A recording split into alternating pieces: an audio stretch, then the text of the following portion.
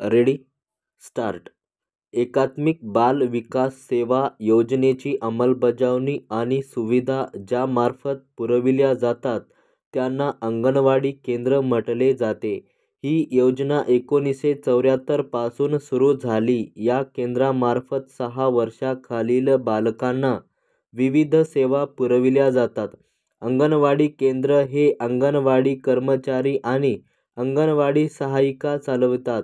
एकात्मिक बाल विकास सेवा योजना ही केंद्र सरकारची योजना असली तरी ती राज्य सरकारांमार्फत म्हणजेच राज्याच्या महिला व बालकल्याण खात्यामार्फत ती चालविली जाते प्यारा.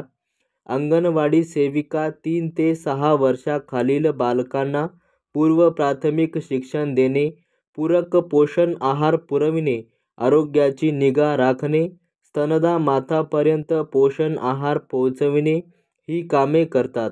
राज्यात दहा हजार आठशेहून अधिक अंगणवाड्या असून दोन लाख आठ हजार अंगणवाडी कर्मचारी मदतनीस आहेत ज्यांच्यामार्फत आरोग्य पोषण आणि शिक्षणविषयक योजनांची अंमलबजावणी केली जाते. अंगणवाडी सेविकांना सध्या साडेआठ हजार रुपये मानधन दिले तर मदतनीसांना पाच हजार रुपये मानधन आहे.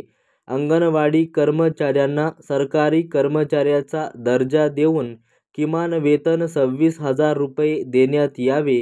किमान वेतनाबरोबर निवृत्ती वेतन देण्यात यावे.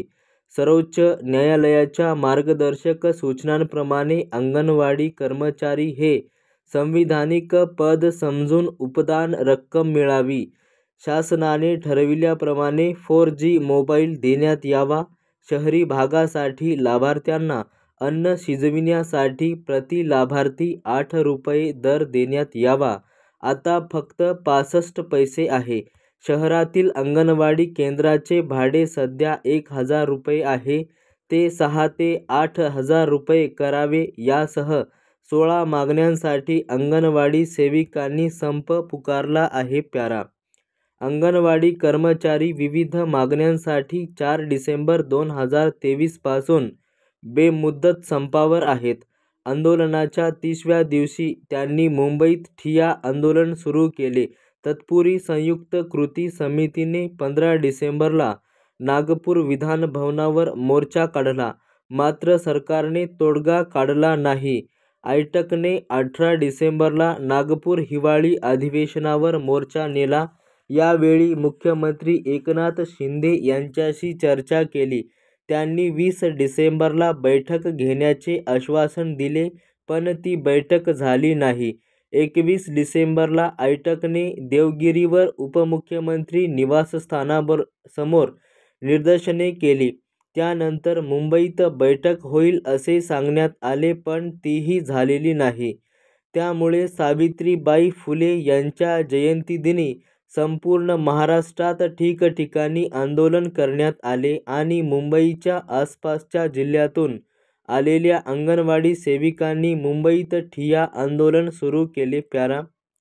छोट्या खेड्यात गावात अंगणवाडी सेविका जी सेवा देतात त्यावर शासनाची भिस्त आहे. पूर्व प्राथमिक शिक्षणासोबतच गर्भवती महिलांची नोंद जन्म मृत्यू नोंद ठेवण्याचे काम त्या करतात.